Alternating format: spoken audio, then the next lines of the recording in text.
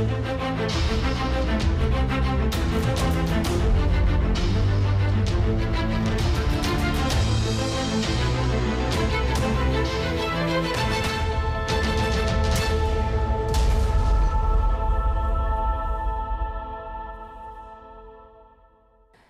õhtust, head valijad.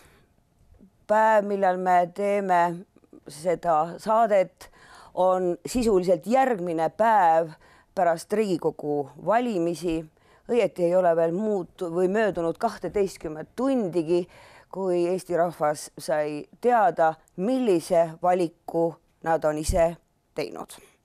kolmapäeval, kui see saade eetrisse läheb, ma usun, et teil on võimalik juba arutleda kaasa selles osas, millest me täna äh, sotsioloog Juhan Kivirähu ja, ja, ja Ahto Lobjakasega, kes on poliitanalüütik, täna räägime, et millised siis tegelikult äh, olid ikkagi need valimistulemused. kas äh, nende valimiste tulemusena tegelikult Eesti poliitilises elus tõepoolest hakkab midagi muutuma? Äh, noh, kindlasti midagi muutub, sest meil on nüüd Riigikogus kuus erakonda, millised on võimalikud äh, valitsuskoalitsiooni kombinatsioonid, millised erakonnad võiksid vali-, valitsuskoalitsioone moodustada. sellest kõigest me täna räägime ja järgmises saates saame siis kontrollida äh, kui, kui loogi-, kui loogiliselt peaksid need protsessid kulgema ja tegelikult kulgevad või, või võib ka juhtuda nõnda, et tuleb üllatusi, nagu tegelikult nendel valimistel tegelikult ka toimus. nii et ma kõigepealt küsiksin sinu käest, Juhan, kas see, mida sina ootasid või ette kujutasid nende, nende andmete põhjal, nende küsitluste põhjal, mida sa oled viimasel ajal teinud, kas see rahva valik oli ootuspärane? jah, kui vaadata nüüd päris viimaseid valimiseelseid küsitlusi, siis äh, see, et äh, valimiste võidule pretendeerivad kaks erakonda, Reformierakond ja Keskerakond ja et äh, Reformierakonna eelmine ja praegune võimuliidu partner, vastavalt siis IRL ja sotsiaaldemokraadid on pisut neist maha jäänud ning ka seda, et kaks äh, uut tulijat pääseb Riigikokku, see oli küsitlustulemustest äh, näha. ja kindlasti siis tõesti viimasel, viimastel nädalatel oli edukam Reformierakond, kes ka oluliselt kasutas siis meie küsitlustulemusi oma reklaamikampaanias, näidates, et Keskerakond on ees ja suutes siis hirmutada valijaid selle mõttega, et tõesti Savisaarest võib saada peaminister me uurisime veebruaris ka seda, eh, millised on populaarsemad peaministrikandidaadid ja tõe, tõesti Eesti valijate hulgas eh, kõige vähem soositud kandidaat oli just nimelt Edgar Savisaar. nii et ilmselt see viimastel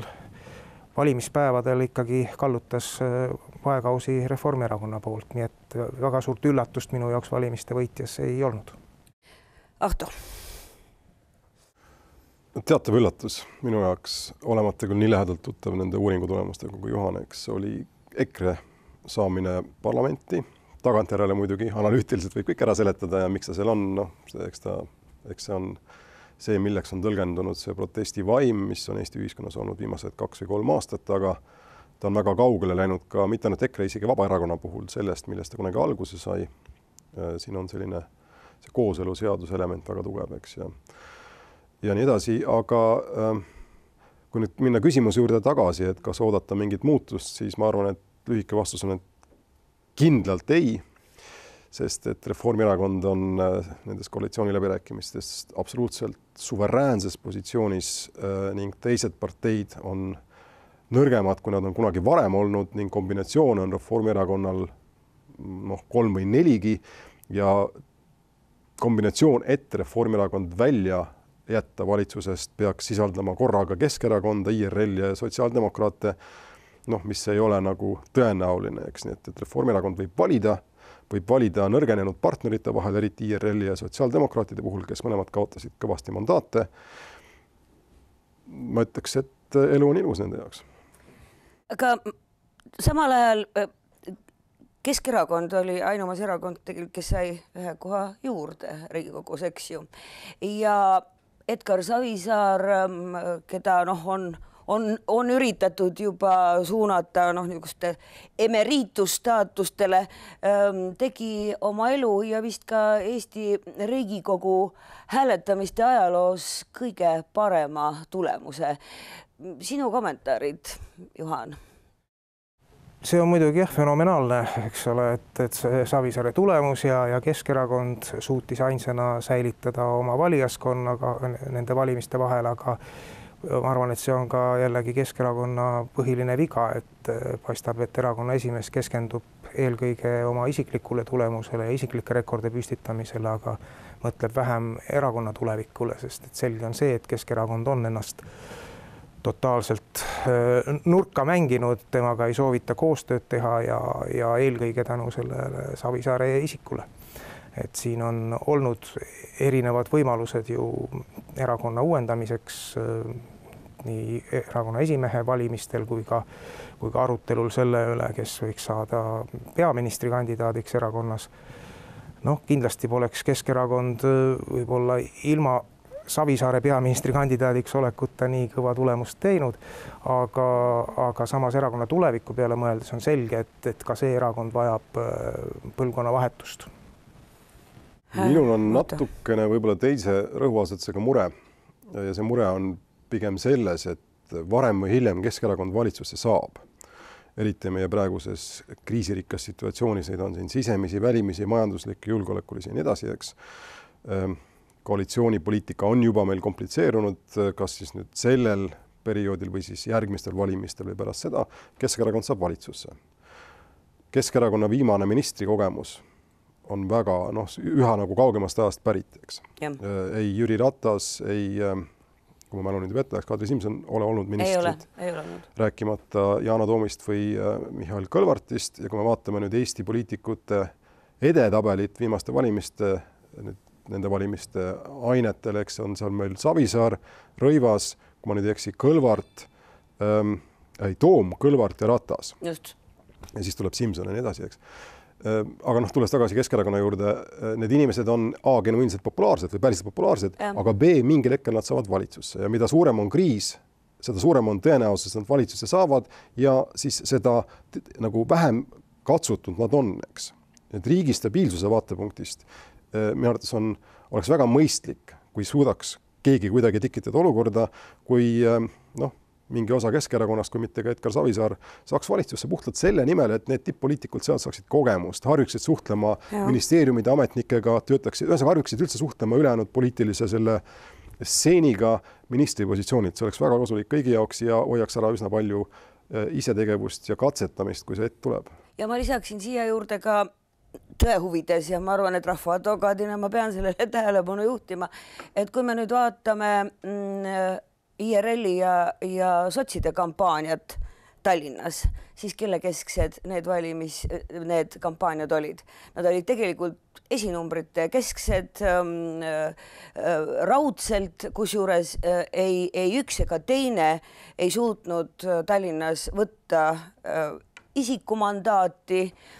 sotsiaaldemokraadid peavad olema rõõmsad, et nad Lasnamäel said üleüldse ringkonnamandaadi,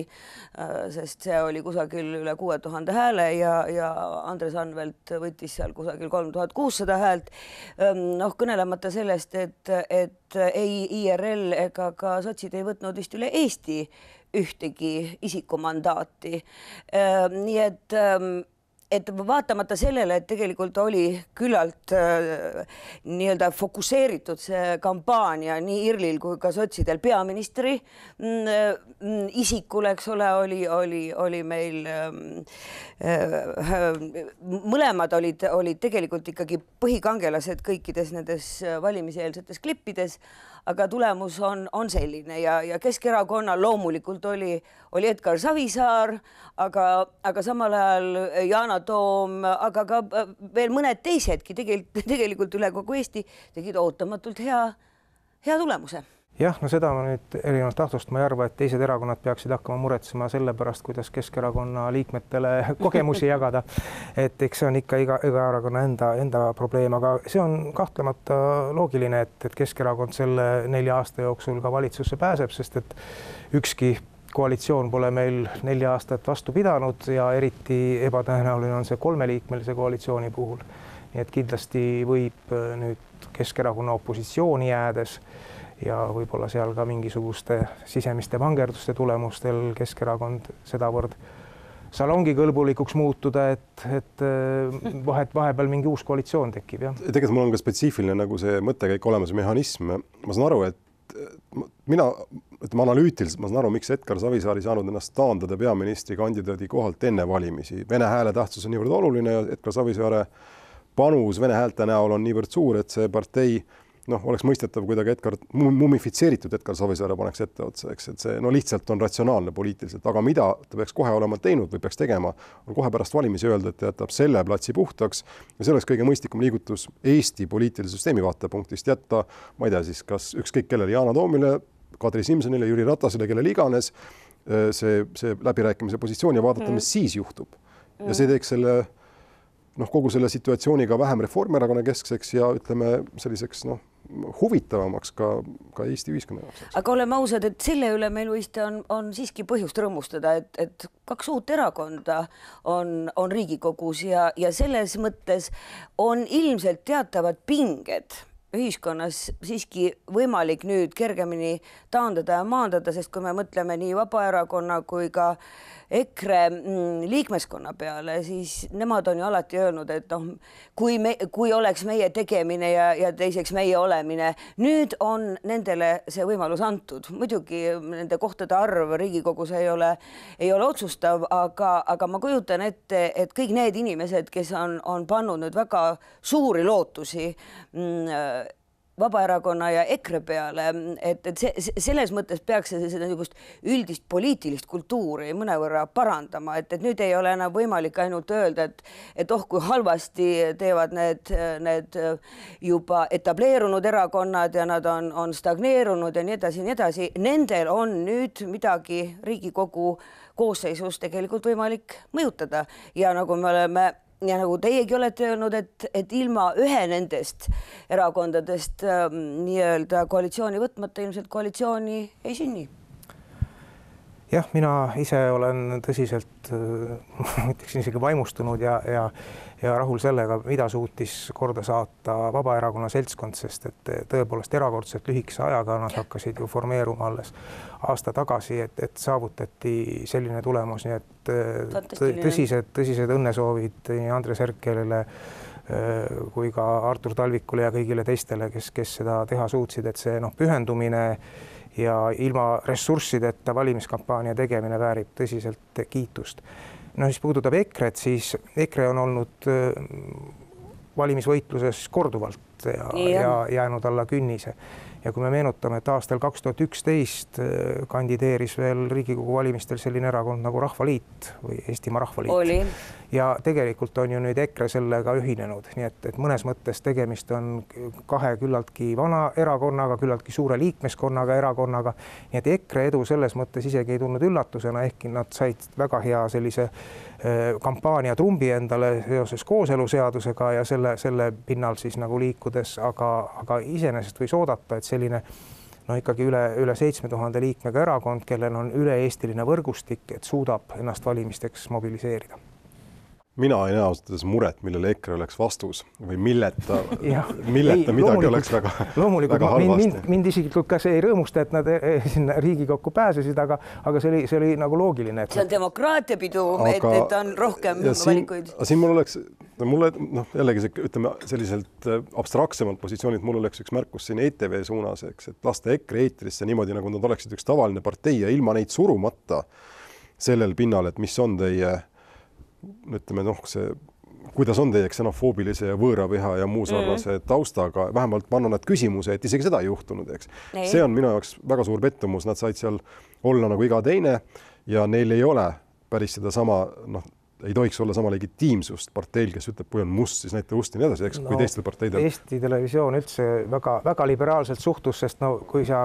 kuulasid veel nende väikeerakondade debatte, siis seal ikka kuulis selliseid seisukohti näiteks Ukraina ja. kriisi kohta ja kõike muud, noh, ma oli... sellest no, Hiiumaa naftast ei hakka rääkimagi. mul oli ka küsimus mingil hetkel, et, et, et see on ju kaasvastutus, eks ju, ETV puhul aga, aga see on, on tõesti üks argument, mida ma tahtsin ka toonitada, et, et alati on küsitud, et, et miks siis nüüd need kaks erakonda tõusid nii kiiresti ja ja on vaadatud küsitlusfirmade poole, et teie tulemused nagu näitasid seda mm -hmm. ja sellest said inimesed julgust. kahtlemata nad said julgust, aga tulemused näitavad ikka seda, mis juba enne on juhtunud, mitte, mitte vastupidi, ei ole ennem tulemused ja siis, siis juhtub. et Eesti Televisioon, see, et võeti kurss, et kõik, kes on täisnimekirjadega, on koos stuudios näitas pidevalt äh, selget valikut, et meil on kuus võrdset valikut Riigikogu valimistel ja see tegelikult andis inimestele kindlustunde, et nad on äh, teistega, teiste, teiste kõrval, teistega ühes reas ja, ja neid kõlbab valida. et ma just ka täna hommikul raadios mainisin, tuletasin meelde seda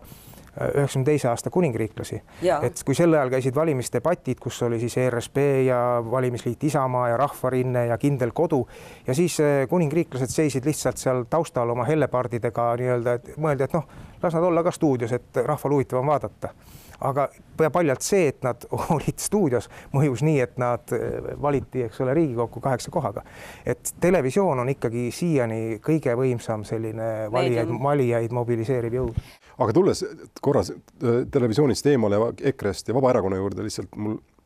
oli nagu mõtte teine pool, et eh, teatud mõttes Vabaerakonnal on võib-olla kõige suurem surve üldse praegu, sest nad tulid selle, no nende platvormis oli see oli see poliitilise süsteemi avamine ka yeah., eks teistmoodi tegemine ja seda oli. kutsuti populismiks, eks ta oli ka populism. aga nüüd on nad olukorras, kus nad on tõenäoliselt kohe lähevad valitsusse, eks. Ja küsimus on siis, palju sellest platvormist jõuab koalitsioonileppesse, kui ei jõua, nagu arvata on, Reformierakond juba survestab neid läbi Jürgen Ligi ja nii edasi, eks siis küsimus on jällegi selle protesti mõttekuses üldse, sest et partei saab sisse, kohe läheb valitsusse, kohe müüb ideaalid maha, eks, ja mis saab edasi. nii et, et nende oht ka nii-öelda stagneeruda on, on väga suur ja, ja seetõttu see vastutus, mis langeb inimestele nagu Herkel ja ja Talvik ja teised on, ma ütleksin kodanikuna, ise kodanikuna ka väga suur, sest ma olen ka selles protsessis osalenud, eks, et no.. kusjuures me peame ju ka tunnistama, et, et see Vabaerakond, noh, me kõik imetleme, kui kiiresti nad suutsid ennast mobiliseerida, aga teisest küljest nüüd selleks, et olla nii-öelda töötav ja kokkumängiv erakond, selleks läheb igal juhul aega vahe, see on, see on alati olnud nõnda ja, ja. aga nad peavad kohe tulemust näitama. Nad peavad kohe tulemust näitama ja see on raske, see on ja. väga raske, sest. selleks erakonna ehitamiseks sisuliselt aega ei jää, eks ole. No aga nüüd läheme juba asja huvitavama poole juurde ja hakkame siis ennustusi tegema. lugesin enne ennem kui ma siia tulin ähm, ühe spetsialisti, äkki olid see sina, Juhan, kes ütles, et põhimõtteliselt on võimalik moodustada kaheksa mm, valitsuskoalitsiooni varianti. Äh, noh, ma arvan, et osa nendest, ma ei ole ma arvan, et osa nendest on, on ilmselt erakordselt ebatõenäolised. noh, seal oli ilmselt ka üks variant, kus, kus võiks tulla kõne alla mm, vähemusvalitsus, aga ma ütleksin, hoidku jumal selle eest, sest ma arvan, et Eesti ühiskond ei ole selleks ajaks, selleks veel küps ega, ega valmis. Mm, mina olen ühes niisuguses olnud ja, ja kui kui, äh, kui peaminister peab põhiliselt läbirääkimisi ainult opositsiooniga ja unustab oma koalitsioonipartnerid ära, siis tegelikult see ka niisugust head tulemust ei anna. aga nüüd äh, teie äh, niisugune kolm varianti teil mõlemalt, mis, missugused valitsuskoalitsioonid oleksid võimalikud ja kui te ütlete, et, et noh, kolm on palju, siis, siis ütelge kaks ja kui te arvate, et kaks on palju, siis öelge see, see, see variant, mida te ikka väga tõenäoliseks peate? jah, ei, neid kaheksat varianti ei ole tõesti mina välja mõelnud, aga mulle tundub küll, et, et see, selle realiseerumine, mis juba on käivitunud, see protsess, läbirääkimised sotsiaaldemokraatide ja Vabaerakonnaga on vast kõige tõenäolisem. ja noh, kui on tarvis veel teist varianti, mis oleks sellele alternatiiv, siis siis kindlasti nagu ka lubas Edgar Savisaar, ei jää erakond käed rüppes istuma, vaid püüab ka ise midagi saavutada. Ehm, ma ei usu, et neil õnnestuks mobiliseerida neid äh, väiksemaid partnereid endaga koos, kuid piisavalt suurte ümberkorraldustega erakonnas on võimalik võib-olla see, millele viitas Mart Helme oma valimisõhtu ennustustes, et et Keskerakond loobub lepingust Ühtse Venemaaga ja, ja kui, kui pole küsimus peaministri kohas, siis Edgar Savisaar jääb niikuinii siia Vabaduse väljakule istuma. et teiste, teiste liikmetega oleks võimalik teha koos Reformierakonnaga valitsus, mis noh, kahe, kahe partneri vahel on alati nii-öelda kindlam ja lihtsam sõlmida kui, kui kolmega, sest, sest jah, Vabaerakond on tõesti äh, ilmselt Reformierakonna jaoks ka küsimärk, et seal on kahtlemata on kogenud parlamendiliikmed Herkel ja Jüri Adams ja Andres Ammas vist, eks ole ka ja aga, aga et mida siis see ülejäänud vabakondlik platvorm tegema hakkab, et ähm, täna ma vaatasin ka intervjuusid Artur Talvikuga ja ega mm -hmm. ta eriti äh, selgelt ei väljendanud, et mis tema, tema plaanid oleksid või et noh, inimesed on ikka poliitikast väga-väga kaugel olnud. Äh, et nendega noh, just ja kuna ka erakond ise ei ole formeerunud, siis on partner suhteliselt ebakindel, et neil puudub nagu see tagamaa, eks ole, kes tagab mingi kindla ideoloogilise platvormi, et et nii et äh, selles mõttes on jah keeruline, et sotsid ja Reformierakond on nagu kindlalt juba aasta tegutsenud ja võivad rahulikult edasi toimida, aga et kes on kolmas, aga kes on kolmas, et noh, muidugi kolmas võimalus on siis IRL, kui see õnnestub siis see aastatagune lahutuse solvumine alla neelata, aga ma usun jah, et IRL-i nõudmised äh, valitsusse minekul on märksa kõrgemad siis kui Vabaerakonnal, nii et, et see mängib ka jälle oma rolli aga Kesk Mina... ja küsin ainult veel juurde, et, et Kesk ja Reform kahekesi, sest noh, me oleme, me teame, et nemad on ikka olnud. Reformist jah, ma rääkisin, et ja, see, see, see on üks võimalus mm, -hmm. aga kõige tõenäolisem on siiski see praegune. ja Kesk, Keskreform, alustades sellest, selleks peaks siis Kesk viskama üle parda kogu selle, kogu selle pagasi, millega ta valimistele läks, eks. kui see ka on mõeldav, ma ei näe seda sotsiaalset tellimust Keski sees. ma tean, et see partei tahab hirmsalt valitsusse saada, see on väga oluline aga kui vaadata, kes on Edgar Savisaare ümber ja need järgmised mehed, nad on, nad on täiesti rahul sellega, et olla teised ja kolmandad ja neljandad, tal ei ole väljakutsujat, eks seal ei ole seda survet, noh, ainult Kadri Simson nad proovisid ja, ja Ratas ka kunagi ja ma ei näe seda dünaamikat partei sees, mis peaks sundima Edgar Savisaart teda valitsusse viima, kui ta tõesti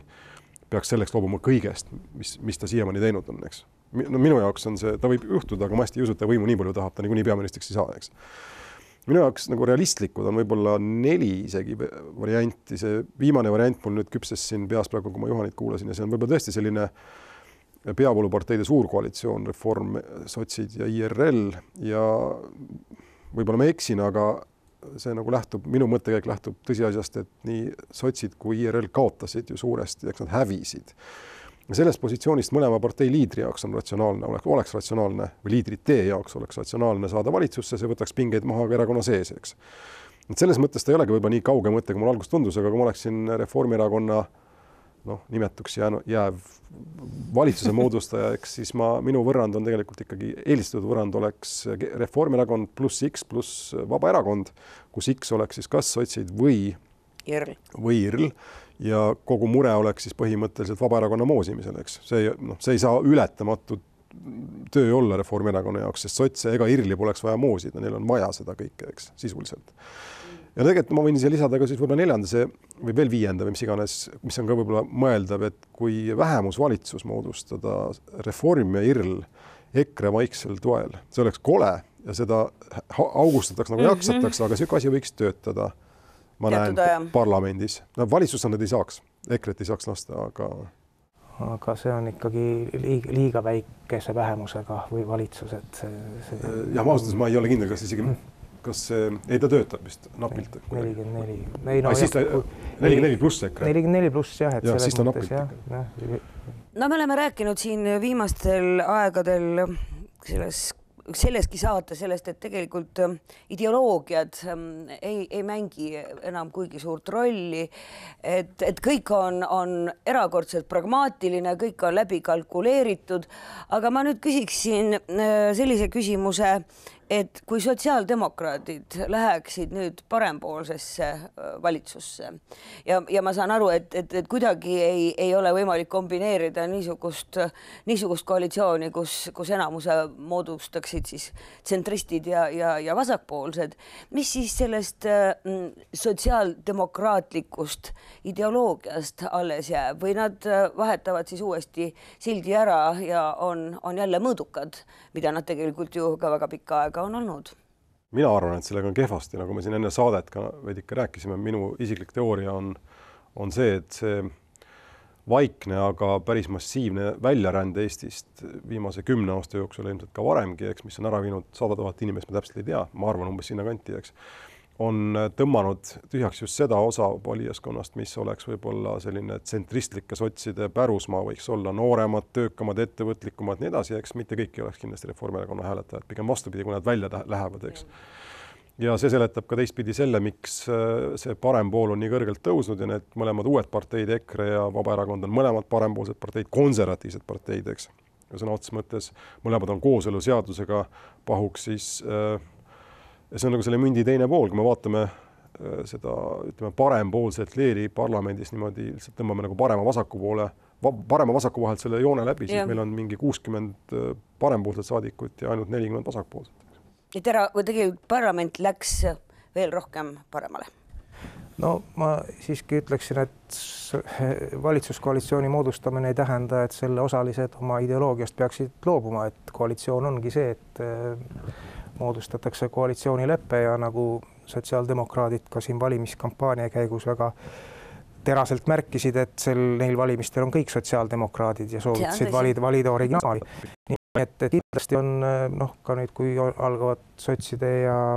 Reformierakonna läbirääkimised, on ju üsna palju ühiseid ootusi nii lastetoetuste osas kui ka tulumaksuvaba miinimumi tõstmise osas, et, et sellist nii-öelda tugevamalt sotsiaalset turvalisust pakkuvat poliitikat on, on võimalik kindlasti teostada ka Reformierakonnaga koalitsioonis olles jah, aga nagu ütles keegi parempoolsetest, üks väikeparteidest, et, et on väga konservatiivne või oli see IRL või et on väga konservatiivne tahta tõsta neid toetusi, eks, ja see nagu enam ei erista vasakut ega paremat poolt, kõik nad saavad aru, et Eesti on vaene maa ja vaesed peavad saama rohkem raha, sest et muidu on ju kehvasti. ma nagu mõtlen seda, et mida ei ole, on suuri ideid sellist, ütleme, kohta sotsiaaldemokraatliku maailmavaate jaoks nagu kogu selles täiuses, mida ta võiks olla, eks. kui vaatasime seda viimast peaministri debatti siis jällegi ma ütleksin, Reformierakond on teinud väga tubli töö, mida nad kõik need peaministrid, need kolm peavoolu peaministri kandidaati tegid, olid nagu laululinnud, laulsid Exceli tabelitest, Exceli tabelid ette, eks, et kus, kust see raha tuleb ja kust ta ei tule mm. -hmm. ja mingisugust ideoloogiat seal ei olnud, see oli nagu mõisavalitseja otsimine, eks, konkurss mõisavalitseja kaks tuhat viisteist Eesti jaoks. raamatupidajad. või raamatupidajad, eks, et selles mõttes see on nagu see minu nagu, et no ütleme, või mõte, et ideoloogiline äh, partei või poliitiline baas on Eestis täiesti kadunud vasakult isegi Keskerakond on puhtalt nagu selle najal, et ta on vene vähemuse partei versus no nende huve kaitseb põhiliselt. ja no ma selle, selle, selle tulemuse põhjal arvan ka, et mingisuguseid suuremaid kui üldse maksumuudatusi ka lähemal ajal ette ei näe, sest sest need erakonnad, kes, kes soovisid kas astmelist tulumaksu või, või, või niisuguseid noh, tõsisemalt võetavamaid maksumuudatusi noh ne,, neid on ilmselt selles võimalikus parimas ja lihtsaimas koalitsioonis ainult üks. ega see on, see ongi kõik väga ja. lihtne ju, see kõik, mis ei kahjusta ettevõtlust ja, ja, ja, ja välisinvesteeringuid palun, kui raha on, teeme ära, see on, ma arvan, see on ligigi programm, eks. Kas see on nüüd sotsiaaldemokraatlik, liberaalne, konservatiivne, ma ütleks, see on realistlik, see on väga pragmaatiline, tehnokraatlik peaaegu. lihtsalt, et seda orelit oleks võimalik võimalikult kaua mängida, tuleb talle õhku anda igale, iga klahvi alla, eks. nüüd järgmine küsimus on see, et kui kaua, kui kaua võib see noh, ütleme järgnevatel nädalatel moodustatud valitsuskoalitsioon vastu pidada. noh, me teame, et, et, et eelmine mm, valitsuskoalitsioon, mis moodustati neli aastat tagasi, ei, ei pidanud lõpuni vastu ja, ja toimus vahetus viimasel aastal. aga nüüd, kui, kui on, on kolm osapoolt tõenäoliselt selles koalitsioonis paljud on öelnud, et, et kindlasti see ei, ei pea vastu nelja aastat, Ahto oli üks nendest. Ehm, aga siis ma küsin, kui kaua? kui kaua neil on aega seda, seda tõestada? no seda on väga raske öelda, see sõltub palju, paljudest tingimustest, sellest, kuidas ka Eesti majandus areneb, kuidas, kuidas ühiskond edasi liigub, et, et kindlasti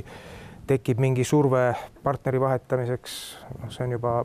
Reformierakonna poliittehnoloogiasse sisse kodeeritud, et vahe kuskil aasta enne valimisi. aga kui nii kaua, kui nii kaua suudetakse koos olla, aga võimalik, et ka praegu on võimalik ka näiteks lihtsalt ühte partnerit ju vahetada aja jooksul, et kui, kui keegi seal ei vasta ootustele või või satub erilise surve alla, eks, eks need erakonnad ju siiski kõik järgivad ka neid, jälgivad ka neid reitinguid ja, ja noh, selles mõttes oli see aasta tagasi toimunud koalitsioonivahetus oli väga selgelt edulugu Reformierakonna jaoks ja väga ja. selgelt tehtud just nimelt reitingute baasilt, sest et oli näha, et kuskil kaks tuhat kolmteist lõpupoole no sotside reiting oli absoluutselt tipus, eks ole, kõik ütlesid, et Mikser on järgmine peaminister ja. ja hakkas tõusma ka IRL-i toetus. Reformierakond jäi nagu koalitsioonis oma toetuselt isegi IRL-ile alla ja, ja loomulikult selle otsene tulemus oligi see, et vahetati partnereid. IRL mängiti mõnes mõttes su suluseisu, et ta ei saa väga aktiivselt rünnata valitsust, kus ta on ise seitse aastat töötanud. Ja vali-, noh, seda valitsusprogrammi ja sotsiaaldemokraadid paratamatult selle aasta jooksul valitsuses pidid võtma vastutuse ja kaotasid oma, oma toetust. Minu vaade on viimase kaheteistkümne tunniga, ma pean ütlema, natukene isegi muutunud. alguses mulle tundus, et kõik see kuus parteid ja koalitsioonivõimalused ja väga selline volatiilne situatsioon või liikuv situatsioon. Mm.. aga vaadates selle asja nagu sisemist, sisemist struktuuri, mul on üha enam tunne, nagu ma ütlesin ka varem, et see on tegelikult Reformierakonna noh, kus nüüd poolt hästi välja mängitud, aga nad on seda üritanud välja mängida ja tulemus on väga hea. et see kõik see dünaamika mängib nagu nende kasuks mm, -hmm. konkureerivaid äh, neid äh, koalitsioone praktiliselt ei ole ja nii edasi ja kui on, siis on need nii keerulised, et need on raske ette kujutada. aga mida mina ennustaksin, on natukene niisugune Igor Mongilikum äh, võib-olla selline viis, kuidas need asjad võivad muutuda. ja lihtsalt arvestades seda jällegi, kui sügavad ja kui tõsised on need kriisid praegu, mis meie ümber käivad, eks. rahvusvaheline majanduskriis ja eurotsoonid, eks. me väga raske on ette öelda, mis juhtub nelja aastaga ja noh, ma arvan, et suhteliselt kuidas öelda nüüd, kindel oleks öelda, et need tõenäoliselt ei, et, et midagi kiirelt ei lahene, vaid see asi muutub üha nagu keerulisemaks, eks eriti väikse riigi jaoks. ja sellistes oludes on, ütleme, vähekogenud peaministril äh, seda keerulisem, eks, ja ka ministritel ja võimalus kusagil jalg valesti maha panna niimoodi, et sa pead tagasi astuma või sunnitakse tagasi astuma mm, -hmm. on seda suurem. ja ma arvan, et sellistes oludes on ehk kõige realistlikum, et see koalitsioon vahetuks, mitte nagu ettemõtle-, ettemõtlemise tulemusena, mis on võimalik, ma ei eita, aga ma olen skeptiline, aga mingisuguse kriisi harjal, kus lihtsalt keegi teeb mingi rumala vea ja ülejäänud parteid tulevad talle kallale nagu, nagu kajakad saiatükile, eks, ja siis on, siis on küll võimalik oled sama meelt, Juhan? jah, põhimõtteliselt ongi, et eh, selle aasta tagasi toimunud koalitsiooni vahetamisega, kus Reformierakond sai ka uue peaministri, siis Teet Rõivasel on väga korralik renomee selle aja jooksul, eks ole, nüüd ta soovitas ka valimisvõidu, nii et et eh, ta ei ole suuri vigu teinud, aga kindlasti nüüd pärast neid valimisi ja uues koalitsioonis on see juba märksa lihtsam tekkima Teie nüüd kindlasti mäletate paremini, aga mulle tundub, et nendel valimistel on, on nüüd esimest korda tegelikult äh, tulnud ähm, kogu sellesse mängu sisse ka niisugune rahvusvaheline dimensioon. Äh, noh, seda me oleme Soome poliitikast ju aastaid kuulnud, et kui, kui mõni erakond tahab äh, oma konkurentidele kodumaal survet avaldada, siis minnakse Rootsi ajakirjandusse ja kirjutatakse seal mõni niisugune teravam artikkel, juhitakse tähelepanu ja, ja noh, tegelikult on, on ka teinekord see mõjunud. nüüd seekord äh, oli vist nõnda, et, et oli ajagi, ajalehtede Economist juhtis tähelepanu sellele, et, et Eestis on tõsine oht, et, et parima tulemuse teeb Eestis Keskerakond, kellel on koostöölepe Vene Venemaa suurima parteiga. see oli, oli üks niisugune tõsine vihje ja teine oli muidugi siis seoses Eesti Vabariigi aastapäeval EKRE poolt korraldatud tõrvikute rongkäiguga kus samuti oli neid äh, rahvusvahelisi ajakirjanikke ja vaatlejaid, kes juhtisid tähelepanu, et äh, noh, mis, mis loosungid äh, Eesti ainult eestlastele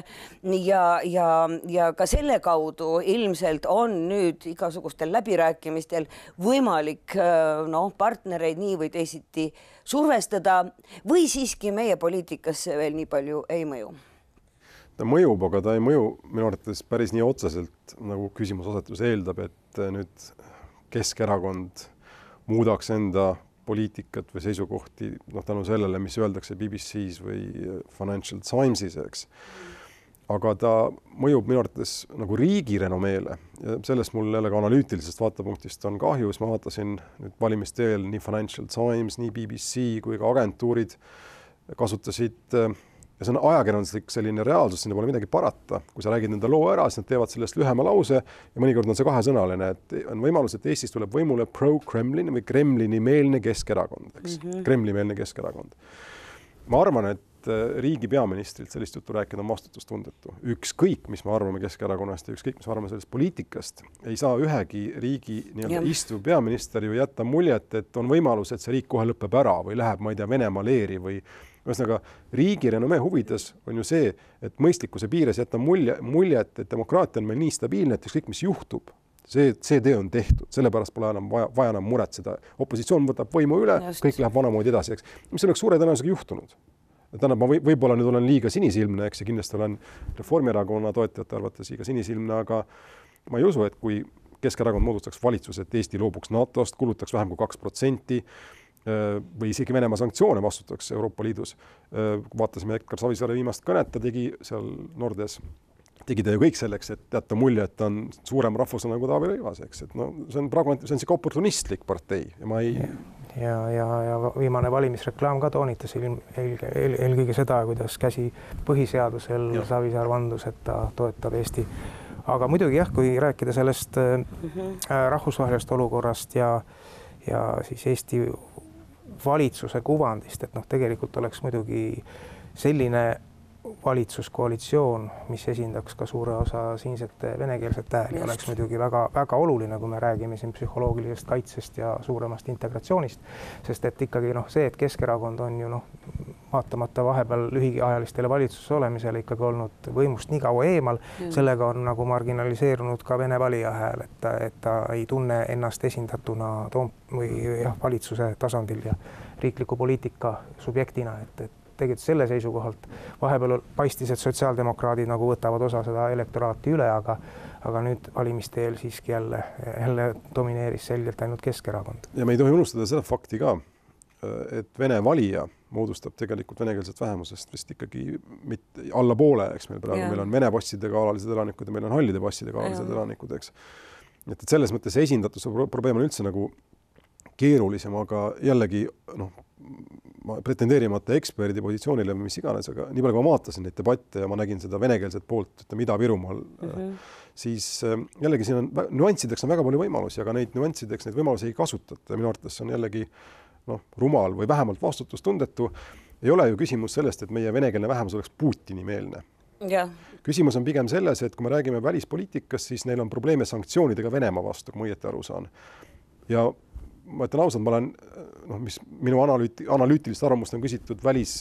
väliskanalite poolt, siis ma olen okay. üritanud rõhutada seda, et siin on tegemist sanktsioonide küsimusega põhiliselt, mitte sellega, et kas Putin on hea või halb või noh, see ei ole, Putin ei ole ju Eesti valimiste teema lõppkokkuvõttes. ei tohiks Kel... olla vähemasti. no aga ta ei ole ka selles mõttes, et meil ja. ei ole poliitilist jõudu, kes ütleks, et Putin on hea, eks. no ma segan nii palju vahele, et ma usun, et, et Lääne-Euroopas on, ähm, on erakondi, kellel on tegelikult olemas ka mingisugused koostöödokumendid